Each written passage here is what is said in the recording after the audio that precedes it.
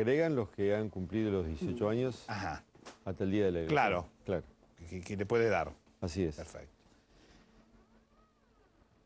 ¿Cuántos escenarios se pueden dar a partir del próximo domingo? Bueno, eh, creo que realmente es una experiencia muy interesante la boleta única que tuvimos nosotros en Santa Fe, pero también interesante la forma de elegir eh, que se dan en estas primarias. Porque las primarias son una novedad para la nación. Nosotros teníamos primarias eh, que recordemos que se fue suspendida en una primera vez y después fue anulada por otra ley.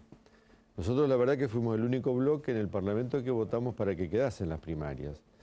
Porque es una gran ayuda que se le da a los partidos políticos que hoy están realmente bastante debilitados todos y que necesitamos que la población también se involucre. Y la verdad que la población quiere votar, porque ha advertido que si él no vota, si una persona no vota, o hay otro que vota por él.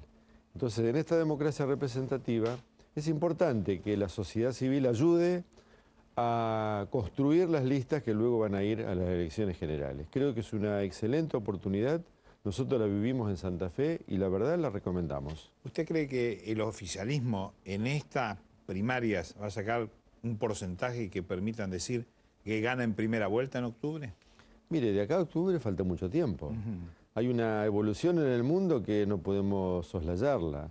Y por lo tanto, todo lo que está ocurriendo es parte también del comportamiento de la gente. La gente tiene una gran eh, desconfianza en general por la situación económica, social, y esa falta de confianza es la que de alguna manera va conduciendo el humor de la gente.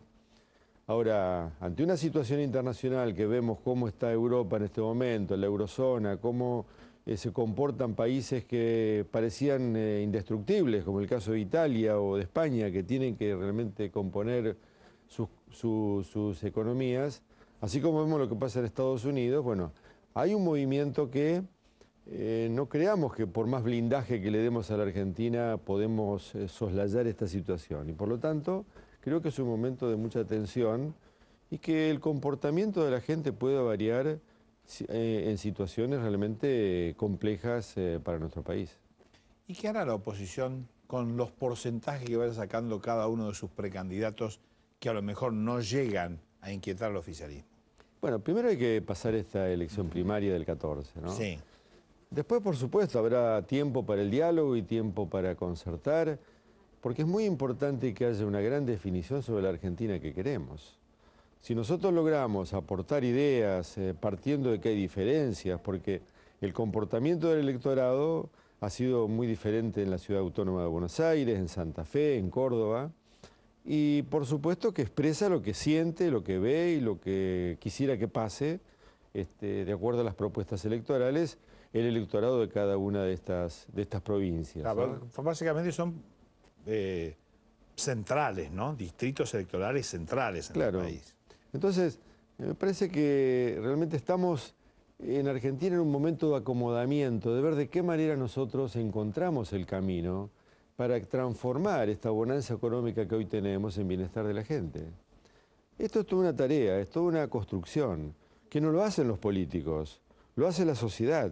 Los políticos en todo caso podemos leer lo que está pasando y acertar en nuestro diagnóstico, pero lo que no podemos nosotros soslayar es precisamente el valor que tiene el voto de la gente, la potencia que tiene ello en decidir una elección y por supuesto la decisión que tomemos en conjunto de la Argentina que tenemos que construir entre todos. Ahora, doctor, uno dice, no hace cuatro años se podrían haber pensado cuáles eran las coincidencias que tenían algunos dirigentes políticos, algunas agrupaciones partidarias, para poder acordar? ¿O, o están todos esperando este resultado como una tomografía computada para ver cuánto tenés vos, cuánto tengo yo, qué hacemos? Bueno, yo creo que, que, claro, también habla de la debilidad de los partidos de buscar eh, frente, ¿no? Yo digo, lo que pasa en el Frente Amplio Progresista es verdaderamente una novedad dentro de la, de la construcción política en la Argentina. Porque nosotros venimos de una cultura de la disidencia. A ver, ¿en qué me diferencio del otro? Como para decir, yo quiero mi propia identidad. Y nos damos cuenta que todos los partidos políticos son incapaces por sí de eh, interpretar y de solucionar los problemas. Entonces, necesitamos lógicamente de una integración de, de- de- de- de fuerzas políticas a los cuales le decimos, mire, usted no abandone si es peronista o es radical o es socialista, usted no abandone esa idea, pero pongamos una vez de acuerdo en que hay que construir un programa común. Mira, había un tema musical eh, muy viejo, ¿no? Que decía, ¿para cuándo, joven? ¿Para cuándo? Sí, bueno. Porque es... es- Sí, y, y Digamos después se va- es, este, pasan los años y queda sí. solamente el para cuándo, ¿no? Sí, queda para el cuándo. Para, para cuándo. Claro, pero bueno, pero yo creo que estamos en ese camino. La verdad que el acta de constitución del Frente Amplio Progresista ha sido un acta saludable que se logró en pocas horas, el acuerdo. En la construcción... Pero no de- pudo ser más amplio, no pudo haber otras agrupaciones Es políticas. que está abierto, por eso se llama amplio. Ah, No, estamos está amplio abiertos, también hasta después de las elecciones. No, no, pero es que siempre estamos abiertos, porque realmente hay que construir masa crítica en el país. Cuando creemos que cada uno tiene solución del problema, eh, realmente lo que hacemos es tener un montón de focos ectópicos que no constituyen una unidad. Y nosotros tenemos que tener una propuesta firme, segura. ¿Dónde quiere ir Argentina? ¿Dónde quiere estar? ¿Quiere estar en el Mercosur o no quiere estar en el Mercosur? Si estamos en el Mercosur, ¿podemos nosotros cerrar la frontera un día porque no nos conviene tal negocio? ¿O es una unión aduanera que hay que preservarla porque en el todo lo ganamos? ¿Estamos de estar en contra de Brasil o a favor de Brasil? Mire, yo estuve en la cumbre de presidentes que se hizo en Asunción. La verdad que me llamó la atención eh, la posición de Dilma Rousseff, la presidenta de Brasil, que dice, bueno, nos han dado un cargo importantísimo en la FAO para Brasil. Y nosotros le decimos, este cargo no es para Brasil, es para el Mercosur. Mire qué grandeza. Cuando a Brasil se le ofreció un asiento en el Consejo de Seguridad de Naciones Unidas, Argentina se opuso. En lugar de ir a trabajar juntos, porque yo creo que esta es la fortaleza también que hay que aprovechar de ir a vender juntos como mercado. Si estamos vendiendo el mismo producto, supongamos soja, bueno, vayamos a los mercados internacionales como Mercosur a vender soja. Y creo que realmente esto es lo que impacta fundamentalmente en la construcción de una Argentina que tiene un destino propio. De lo contrario, bueno, estamos allí, un día nos interesa este proyecto, mañana aquel, estamos dando vuelta y la verdad que perdemos oportunidades en la Argentina. Estuvo con Moyano hoy, con Hugo Moyano. Hoy estuvimos en la CGT, por supuesto estaba toda la comisión directiva de la CGT, estuvimos todos con ellos.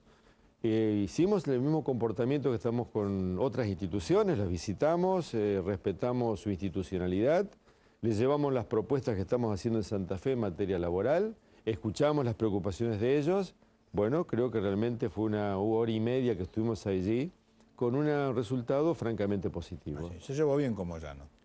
No es el problema llevarse bien No, con digo, Moyano, en esta relación. Moyano es, es electo por la comisión de la CGT, con lo cual no nos toca a nosotros opinar. Lo que sí podemos opinar es que es una institución que es importante en la historia argentina, en el presente argentino, y es un lugar absolutamente dialogable con todos los sectores económicos y sociales del país. Ahora voy a hablar con el precandidato de Narváez. ¿No es llevarse bien con el Narváez tampoco? ¿Por qué no? Podemos No, hablar. ah, no, no, dice- no, sí. Nosotros no trazamos rayas bien Pueden hablar. infranqueables. Estuvimos hablando hace un Sí, rato no, no, aquí, no, sí, ahí- ahí fue. Ustedes son así, a- fuera de cámara hablan. No, en también- cámara habla poquito y cuando se reúnen no arreglan nunca nada. No, no, no. Tratamos sí de, de- hacer cosas. Sí. ¿Sí? Pero también es cierto que estas primarias nos invitan a nosotros a consolidar cosas. Después, eh, seguramente, si nosotros logramos que en un 60% nos ponemos de acuerdo, ¿no? Bueno, tenemos un punto de partida. ¿Cuánto pide usted? 60. ¡Jo, qué difícil! Gracias, doctor. Bueno, este.